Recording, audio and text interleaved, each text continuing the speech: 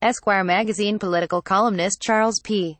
Pierce said that President Donald Trump's rambling, repetitive, self-contradicting interview with the New York Times is more than a portrait of an eager authoritarian frustrated by the restrictions placed on his power.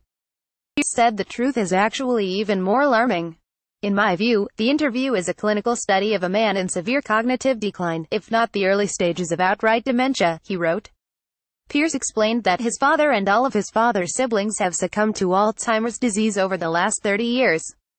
The president's speech patterns and his stubborn clinging to a few simple ideas remind Pierce of the same decline he saw in members of his family. In this interview, the president is only intermittently coherent.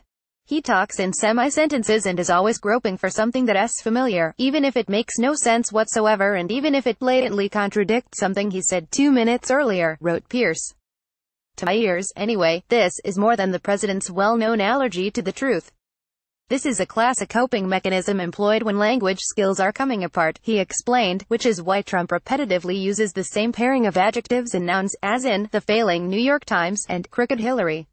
In addition, the president exhibits the kind of stubbornness you see in patients when you try to relieve them of their car keys, or, as one social worker in rural North Carolina told me, their shotguns. Pierce said. Trump's reflexive anger when he is contradicted or feels threatened, Pierce said, is a sign of a brain struggling to impose order and familiar ideas on a world that he increasingly does not comprehend. For example, a discussion on healthcare goes completely off the rails when the president suddenly recalls that there is a widely held opinion that he knows very little about the issues confronting the nation, Pierce said.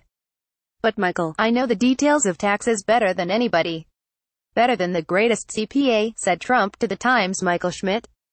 I know the details of healthcare better than most, better than most.